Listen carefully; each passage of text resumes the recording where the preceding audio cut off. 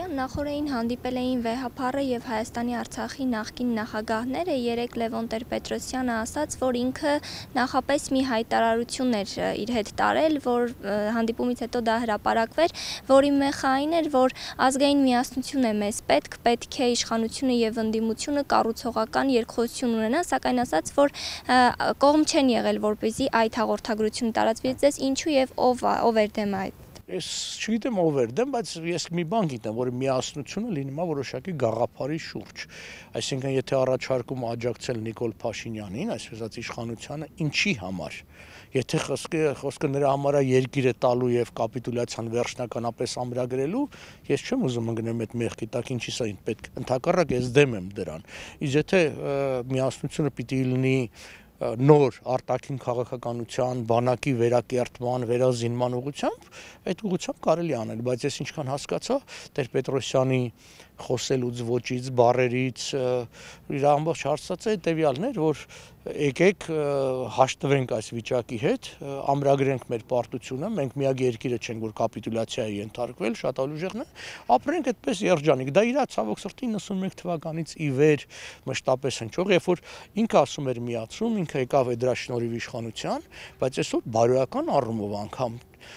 ինքը սխալ է, որտեվ եթե ինքը հրաժարում է իր նախնական գաղափարներից, ինքը պիտի հրաժարվի նաև այդ տներից, աշխատավարձից, այդ парքից, որը ստացել է դրա, թե չէ ստացվում է որ երկին ասում է դու հրաժարվի այդ ամբողջից, բայց ես դրա շնորհիվ ձեռք բերածը կպահեմ։ Էլ չեմ ասում ընդհանուր առմամբ այդ լիքը փաստացի սխալներ եւ խեղաթյուրումներ կար իր ելույթների մեջ, գնահատականների մեջ։ Օրինակ որոնք կմատնանշեն։ Օրինակ եղավ Հայաստանի քաղաքականության պայմանավորել սովետական Հայաստանի, սովետական Ռուսաստանի քաղաքականությունը մեր նկատմամբ։ Այդպես չի եղել։ Ռուսները ուզում էին համաշխարհային հեղափոխություն անեին 1920-21 թվականի մասնախոսքը, դանում էին մուսուլմանական աշխարհի միջոցով։ Մենք խոչընդոտ էին, նրա համար մեզ զոհաբերեցին կամ 70 տարի օտար զինվորի ոդկա Հայաստան չի, 7-րդ կարմիր բանակը, որ կանգնած էր այստեղ 11-ի օտար բանակ չէր, դա օկուպացիոն 11-րդ կարմիր բանակներ, որը մտել էր, տապալել էր օրինական իշխանությունը, հաստատել էր օկուպացիոն ռեժիմ Հայաստանում, իմիջիալուց դա ամրագրված է նաև տարբեր միջազգային փաստաթղթերում եւ այլ այդ իր պատկերացումը սովետական Հայաստանը պետություն, դա պետություն չի եղել երբևէ սովետական դա եղել է վարչատնտեսական միավոր ՍՍՀ կազմում, որը ծառայել է ՍՍՀ-ին։ Նույն ձև այդ խաղաղությունը բան չհասկացա մենք չենք մասնակցել ֆիների դեմ հələ ինքը ընդունեց այսպես կոչված հայրնակը նախ այդ հայրնականը զոհերը տվել են որտեղ օկուպացված են եղել եւ մաս են կազմել այդ երկրի չլինեինք օկուպացված չենք մասնակցելու բայց մենք ինչ խնդիր ունեինք ֆիների դեմ կռվելու ավանների դեմ կռվելու չգիտեմ չինացիների դեմ կռվելու ճապոնացիների դեմ կռվելու ոչ մի խնդիր չունեինք հենց սա կլասիկ օկուպացիոն գաղութացված երկրի նկատմամբ քաղաքականություն ինչպես ժամանակին ասենք Աքեմենյան Պարսկաստանը հայկական սատրապ հեղափոխությունների զորք էր ավակում տանում էր ուրիշի դեմ կռվելու, նա է եղել։ Այնպես որ ասեմ, լիքը ձև փաստացի սխալներ կա իր ելույթում։ Առաջին նախագահը ասում էր ով էլ գա Նիկոլ Փաշինյանից հետո միևնույնն է նույն լուծումներն իրեն են առաջարկվելու, նույն կապիտուլյացիոն թուղթը, այսպես ասած, նրա դեպքում էլ է լինելու, բայց ասում էր, որ ընդդիմությունն ու իշխանությունը պիտի հանդիպեն, ընդդիմությունը պիտի հասկանա, թե ինչ թղթեր կան սեղանին դրված, ինչ լուծումներ է իրեն առաջարկում, որովհետև ասում էր այդ ինֆորմացիային տիրապետում է Նիկոլ Փաշինյանը Փաշինյանը եւ նրան մոտ, այսինքն իշխանության անդամները։ Այք Տեր Պետրոսյանի եւ Նիկոլ Փաշինյանի հիմնանար սխալն այն է, որ իրենք ընկալում են սովետական վարչական սահմանները որպես պետական սահմաններ եւ դրանից էլ շարժում են։ Այդտեղից էլ ստացվում մյուս բոլոր սխալները։ Այն որ Տեր Պետրոսյանը 94 թվին չթողեց, որ մենք մեր հաղթանակը հասցնենք ավարտին եւ Ադրբեջանին կապիտուլյացիա պարտադրենք, ինքը այդ հարցի պատասխանը առ այսօր չի տվել։ Այսինքն այդ ո՞նց եղավ ադրբեջանցիք հաղթում են կապիտուլյացիա են պարտադրում։ Մենք հաղթեցինք 94 թվականին, կիսատ թողեց։ Մենք կարայինք հանգիստ հասնեինք քուր քուրի այդ բունի մոտ, հոսքի մոտ եւ փակեինք արտահանման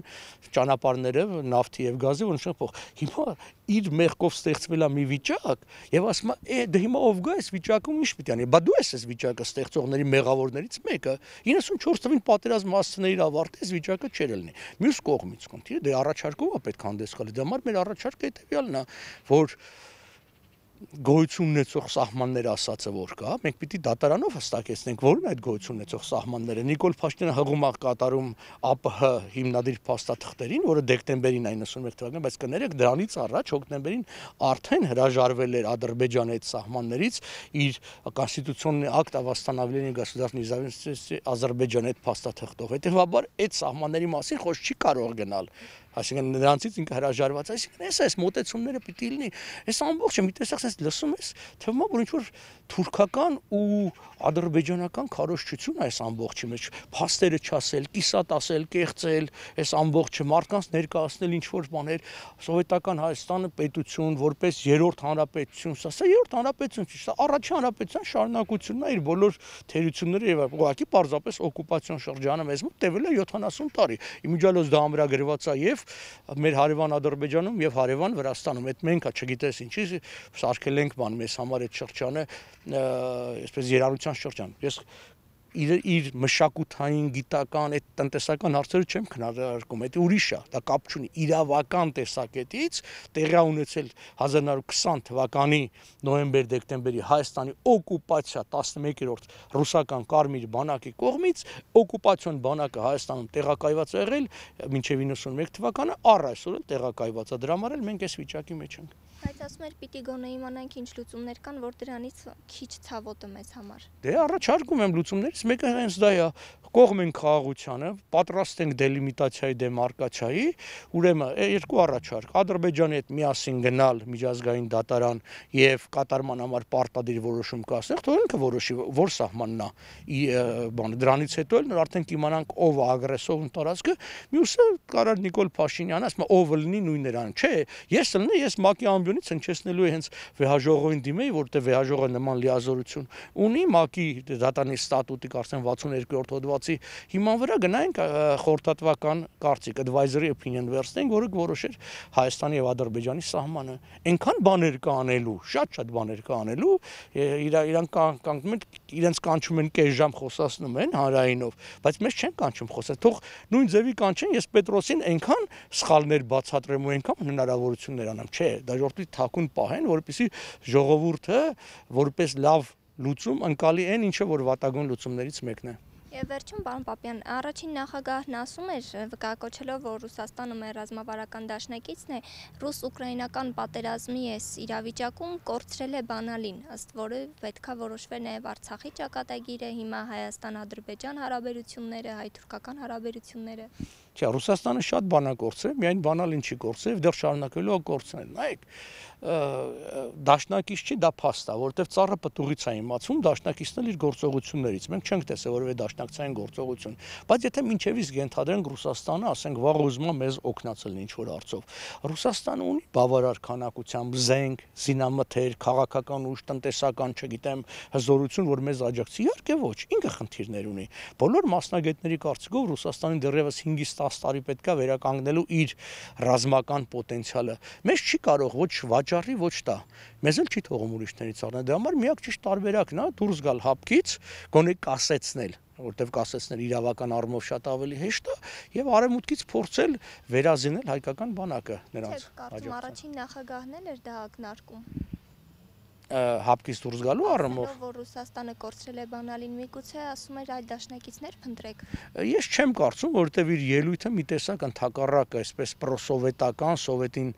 գովվելու Ռուսաստանին գովվելու ասելով որ տեսեք այն ժամանակ էլ խոսելով առաջանապետության մասին ասելով որ այն ժամանակ էլ մենք Հայաստանը պրոարևմտյան էր եւ այդ պատճառով մենք կորուստներ ունեցանք կրկնում եմ այդ պատճառով չէ այն պատճառով որովհետև բոլշևիկներն ուզում էին համաշխարհային հեղափոխություն անեն եւ հայերը այդ այդ վիճակում դառնում էին խոչընդոտ ինչպես այսօր Ռուսաստանի քաղաքականությունը մեր նկատմամբ պայմանավորված չի մեր քաղաքականությամբ իր նկատմամբ դա պայմանավորված է իր շահերով իսկ Ռուսաստանի շահերը միանշանակ են թուրքերի ու ադրբեջանցիների հետ դիմակայության մտնել արևմուտքի դեմ